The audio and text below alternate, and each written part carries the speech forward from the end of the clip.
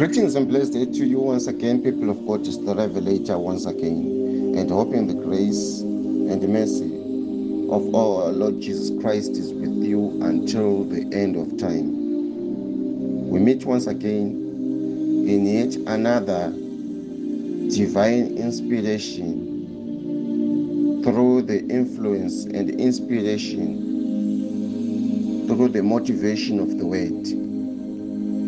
And today, I've been given yet another task to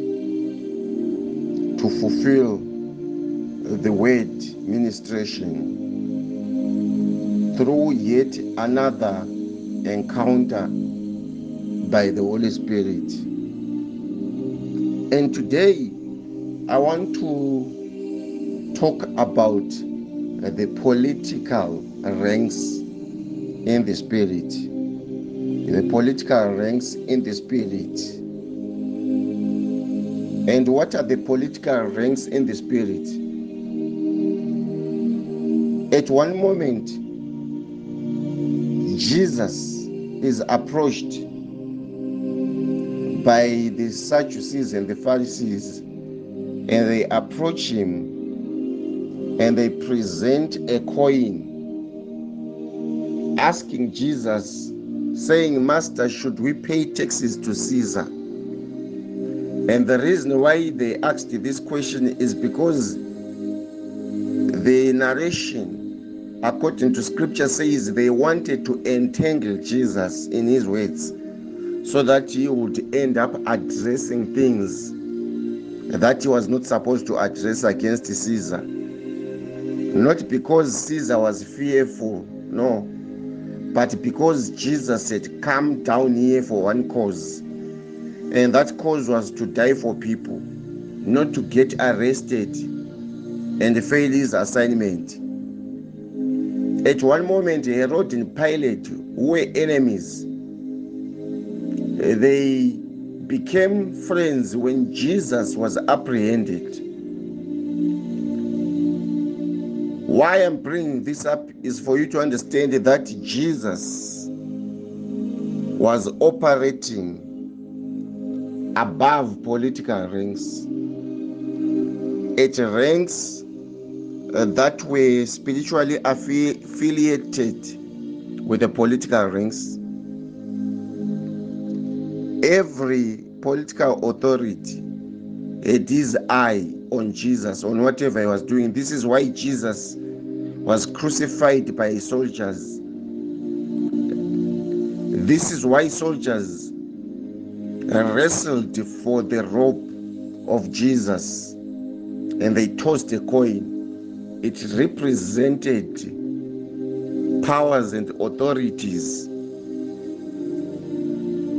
continents and nations that would get divided because of the same Jesus in the later future.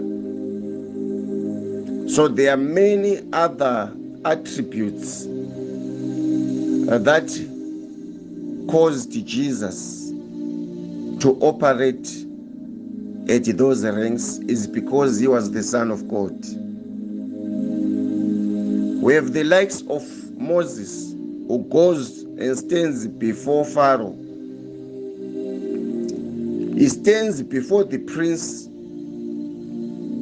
of a nation asking that the child of God in Egypt gets released from bondage. And that alone was a political ranked prophet.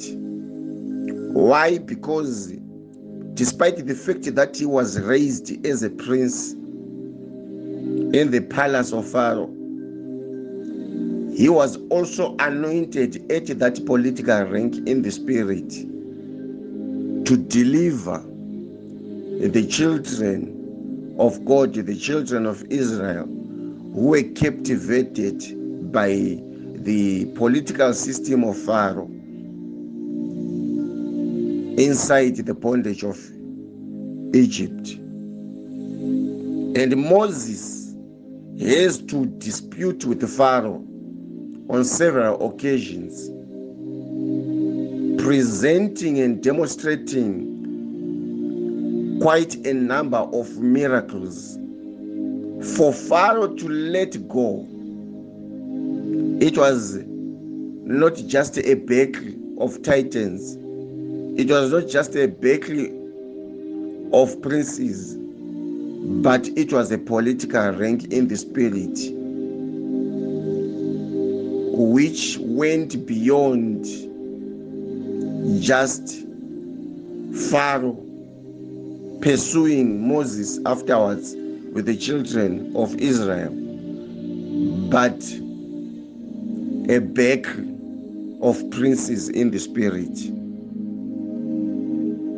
There are so many servants of God uh, that were raised by God, even in the book of Judges, who were raised at different levels of political ranks, the likes of Gideon, the army man, in the book of Judges, who was raised by God with only 300 men to fight against the Midianites who had encamped inside Israel. And the nation of Israel was invaded by another nation and it took one that was anointed at the level and rank that was political to stand on behalf of God and deliver the nation of Israel at that level. The likes of Samson in the book of Judges, who slew a thousand soldiers, who wrestled with the Philistines as a nation. Yet he wrestled with that nation as an individual. He was not an ordinary anointed being, but also a political ranked spirit. We have the likes of Joseph, who had dreams that went beyond individual statuses, but dreams uh, that determined rulers, dreams that instructed rulers, dreams that determined the economic status of a nation, the dream of the swine that were thin eating the swine that was fed. All those parabolic dreams being given to a Pharaoh who was in charge and alerting him of the drought, the poverty that was yet to come. But before all that, Joseph had to go through prison. Joseph had to suffer quite a number of things before he himself sat on that throne. Why? Because he had a political rank in the spirit. The likes of John the Revelator, who was exiled by the Roman politicians. What level of revelations would one be giving to the level that you get exiled out of your very own nation? To the level of being thrown into a boiling basin. The likes of Apostle Paul, who was exiled out of a city through a basket, one that stood and preached the gospel before kings, governors, magistrates, princes. It was a political rank the likes of Shadrach, Meshach, and Abednego, who vowed to be thrown into the furnace of fire.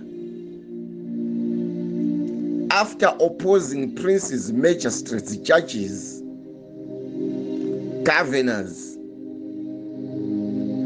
and when the trumpet was sounded, they refused to fall down, these, these three men. They opposed the higher political ranks in the spirit. And when they were thrown into the fiery furnace, which was ever blazing, the fourth man appeared in the midst of that fire. All these child of God that I briefly gave you were political ranks including our Lord and Savior. But my focus today is on a certain political rank in the spirit, and his name was Daniel. He is one that operated in this office above kings, above governors, above princes. He was anointed by God. He was given that authority by Jesus at a level that was inspirational. I know that we've got prophets like Samuel who anointed David and Saul, who also operated above kings. All that he did was to anoint a king in every transition of an oncoming king. A king that was being ordained, Prophet Samuel would anoint, but this particular Daniel was chosen in the realm above kings and princes. Now, I want to take you to the book of Daniel, chapter 10. And in the book of Daniel, chapter 10, Daniel has been mourning for three full weeks. And he says, I ate no pleasant bread, neither came flesh nor wine in my mouth. Neither did I anoint myself at all, till all the three whole full weeks were done. And in the four and the twentieth day of the first month, which means he fasted 21 days, as I was by the side of the great river, which is Hiddekel, I then lifted up my eyes and looked, and behold, a certain man clothed with linen, whose loins were girded with a, a fine gold of Uphaz his body also was like beryl, and his face as the appearance of lightning, and his eyes as the lamps of fire, and his arms and his feet like in color to polish the brass, and the voice of his words like the voice of multitudes. And I, Daniel, alone saw the vision for that man that were with me did not see that vision. Why? Because a great quaking fell upon them so that they fled to hide.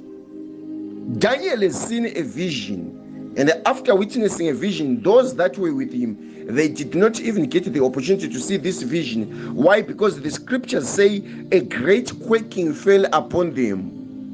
When you start seeing certain visions, when you start experiencing certain visions in the spirit, that are at the level which is political in the spirit, there is a great quaking that is going to fall upon others that are not given that capacity.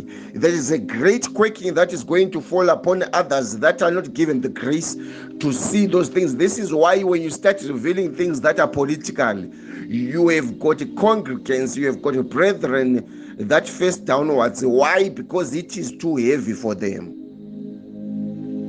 Daniel held a political rank in the spirit that allowed him to hear certain things in the spirit and to see certain visions that were not seen by his other colleagues in the spirit.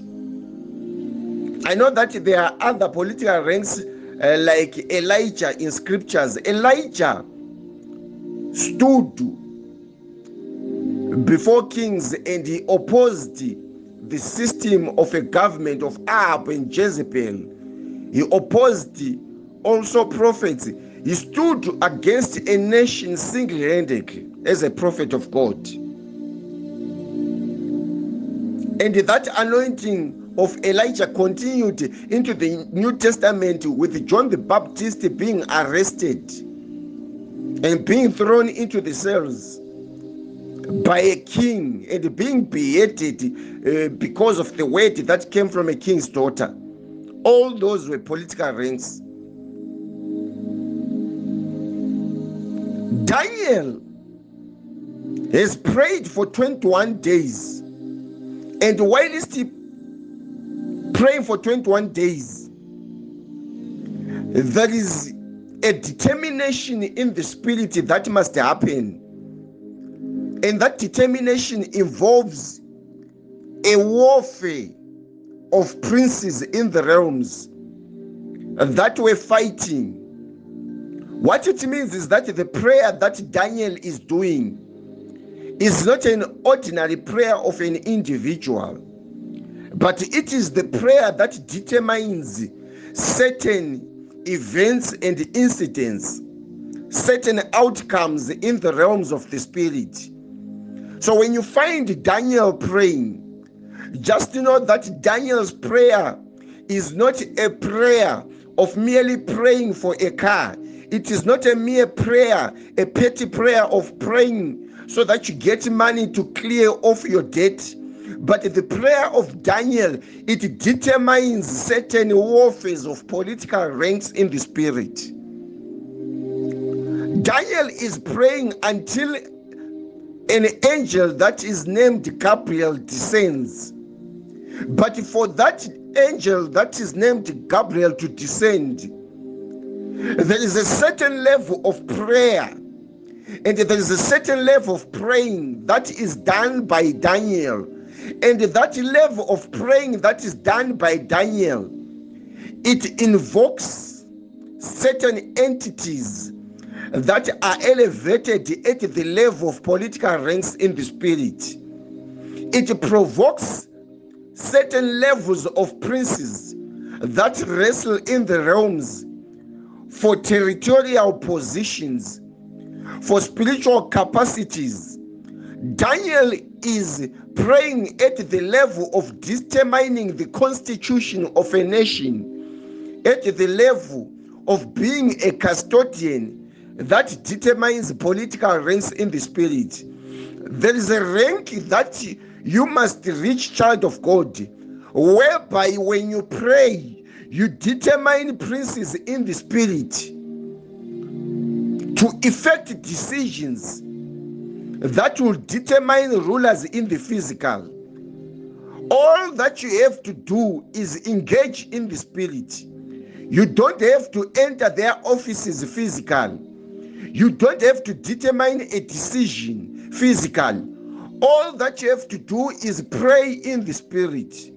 And when you pray in the spirit, your prayer is going to provoke princes and when your prayer has provoked princes in the spirit, your prayer is going to determine certain laws. Your prayer is going to amend certain constitutions. Your prayer is going to determine the effectiveness of certain rulers. Your prayer is going to determine the ballot box. Your prayer is going to determine the community leadership. Your prayer is going to disturb choices and decisions. Your prayer is going to determine rules of laws. Your prayer is going to determine who's going to be in office. Your prayer is going to determine what decisions is, is he going to take without you even entering the offices. I'm talking about a calling here, which was a political rank in the spirit. I'm talking about Daniel. Remember, Shadrach, Meshach, and Abednego, they were appointed by that office of Daniel as much as Shadrach, Meshach, and Abednego were so firm and bold in their ranks of politics in the spirit. They were appointed by one that was above princes and the presidents, was given a realm that was political in the spirit. Daniel says, I alone saw this vision. But the rest, a great quaking fell upon them. So they fled to hide themselves. Why? Because the things that Gabriel was about to tell him, they were so heavy. They can only be understood by Daniel. This is why they are revelations that I've written from the interrogation room from years ago. Not only about this nation, but about the continent itself, about the body of Christ and those revelations, that they are beyond men and women that are praying for bread and butter issues. It's not a mockery. There are people that are at the level of praying for bread and butter issues. And there are people that are at the level of being gatekeepers and watchers in the realms of the spirit. They now pray for territories. They now pray for communities. They now pray at the provincial level. They pray for governors, they pray for mayors, they pray for presidents. And they are allowed to speak a statement that is political. Doesn't matter you fear the politicians. Doesn't matter when you come across law authorities, you change your statements. You don't have a political rank in the spirit. I'm talking about Daniel, who determined the rulerships. I'm talking about Daniel, who had to pray for 21 days for Daniel to descend. And Daniel says, Therefore, I was left alone and saw this great vision. And there remained no strength in me, for my comeliness was turned in me into corruption, and I retained no strength. Yet I heard the voices of his words and when I heard the voice of his words, then I was in a deep sleep on my face, meaning that this was a teleportation dimension where Daniel is hearing certain things from this angel. And this angel is relating a message of nations. This angel is relating a message uh, that was politically affiliated to do with the rulership of princes. But the rulership of princes that is being explained by this angel is not just the rulership of princes on this earthly realm, it is something that had transpired in the realms that would determine the rulership of princes in the physical. And he said unto me, O Daniel, a man greatly beloved, understand the ways that I speak unto you, and stand upright. For unto you I've been sent. And when he had spoken this word unto me, I stood trembling. Then he said unto me, Fear not, Daniel, for from the very first day that you set your heart to understand, to pray, to fast, your words were heard before God. So, what withheld the message to reach Daniel for the entire 21 days? That is the question. And Gabriel then says, But the prince of the kingdom of Persia withstood me for 21 days. But lo, Michael, one of the chief princes from heaven, came to help me. And I remained there with the kings of Persia. Meaning the message that was coming from above it pertained certain levels of political ranks at the level of princes. And there was a warfare in the realms that summoned the angel Michael to come and intervene. Why? Because Gabriel, as a prince again, was blocked his passage, was withstood for 21 days for the message not to reach Daniel. And Daniel is representing a prince. that is praying and effecting prayers in the realms of the spirit that determine warfares in the spirit ranks that are political. This is why this war was a war of princes. It was a war of princes, and the message had to reach Daniel. And the message reaching Daniel would mean that certain effective decisions, certain portals would be unlocked in the realms of the spirit, and certain decisions would be effected on behalf of princes. But the ranks that were in a warfare, there were ranks of light and darkness. And the prince of Persia represented the prince of darkness, and the prince of light was represented by Gabriel. And the war raged on for 21 days. And for 21 days, until Lord Michael, the angel, who represents armies in the heavenly ranks, came and started wrestling in the spirit. Child of God, when you reach the level that is politically affiliated in the spirit, there are prayers that you, you will do that will provoke entities of princes. Princes are never driven out, princes are wrestled with in the spirit. Child of God, when you have reached the level that is territorial in the realms of the spirit, you have reached a level that is politically affiliated in the spirit. You have reached a level that needs you to wrestle in the spirit. You have reached a level where you have the capacity to become the determination in the spirit, to become the determination of choices and decision in a community, in a province. I'm talking about the political ranks in the spirit. The whole mystery of the war that was happening between princes in the spirit was a war that would determine certain decisions amongst the presidents and princes in the physical realm. And there was a man that was praying for that battle to be won by the Prince of Light. And that prayer was being done by Daniel. There are callings that have been anointed under the sun. They are gatekeepers, they are watchers in the realms, representing princes, representing governors, representing mayors, representing presidents, representing authorities, representing senators, representing prime ministers, callings in the realms of the spirit that operate at those ranks in the spirit and you have one that is preaching unto you right now.